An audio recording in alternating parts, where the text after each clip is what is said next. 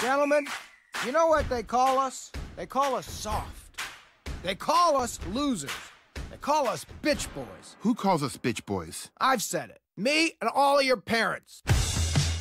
Ben, Ben? Dan. you've only lasted this long because your father is Barry Hopkins. I may call you a disappointment, but it's your choice to feel that way. You're still my wife, and you're dating my best friend. You can't be texting my girlfriend. You up every night. I knew she was up. You can't be an asshole and a losing coach. That's a charge. Ah, you inbred pile of donkey shit, you four-eyed fuck! Come on! Language, Opal. This is a school for fuck's sake.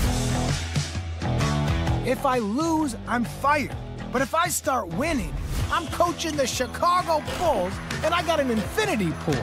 Everybody would be sucking so many of my dicks. You gotta tighten it up, dog. I'm just a 16 year old kid. My problem is I care too much. What's our number one rule? Don't chub it up in the shower. I love this game, and I love this team right here. Go!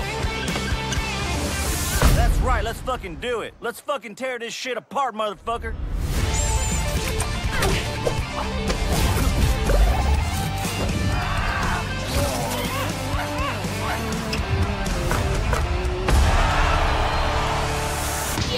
Yes, yes, yes! Holy fuck! It's boiling hot! We couldn't find the Gatorade. We panicked and grabbed the hot tea. Why the fuck do we have hot tea in the fucking gym, you dopes? Holy shit, that is burning my ass! It's like a river of lava!